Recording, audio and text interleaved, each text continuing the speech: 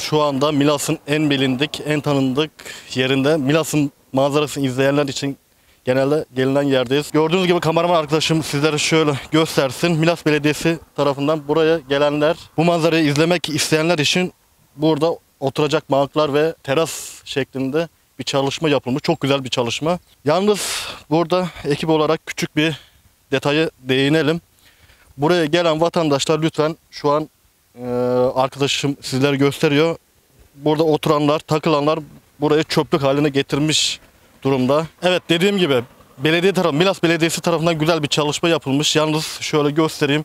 Yani burada bu görüntüler hiç yakışmayan görüntüler değerli dinleyenler. Kameraman arkadaşım şu an sizlere gösteriyor. Yani güzel bir çalışma, hizmet, güzel bir hizmet vatandaşlarımıza. Yalnız vatandaşlarımızın duyarsızlığı pes dedirtiyor.